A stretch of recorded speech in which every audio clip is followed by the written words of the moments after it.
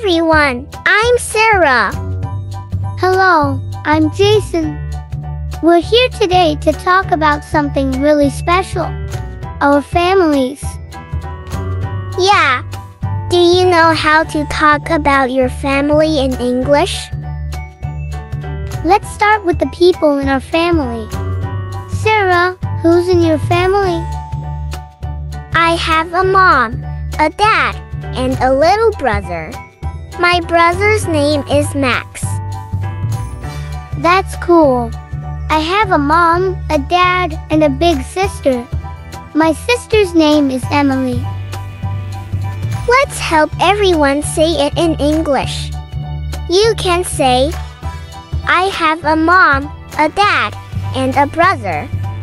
Or, if you have a sister like Jason, you can say, I have a mom, a dad, and a sister. Yeah, and don't forget to say their names.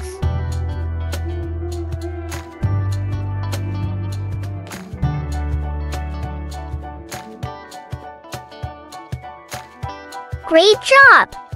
Now, let's talk about how many people are in your family. I have four people in my family. My mom, my dad, my brother, and me. Me too. I have four people in my family. My mom, my dad, my sister, and me. Can you count the people in your family? Say, I have. Number. People in my family.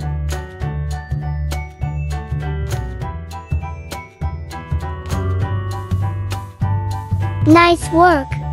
Now, let's put it all together. I'll go first. I have a mom, a dad, and a sister. My sister's name is Emily.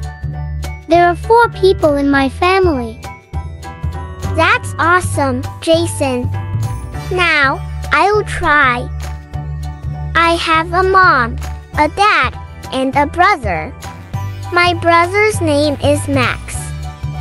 There are four people in my family too. Now it's your turn. Tell us about your family. How many people are in your family? Do you have a brother or a sister? What are their names?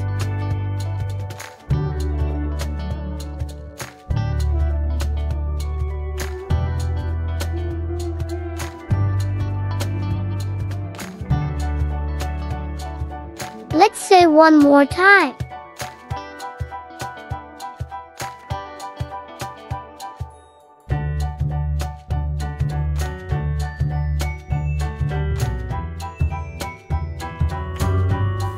Wow, you're doing great. Talking about your family is a wonderful way to share more about yourself with new friends. Yeah, and remember, families can be big or small, but they're all special. Thanks for learning with us today. We'll see you next time. Goodbye, everyone.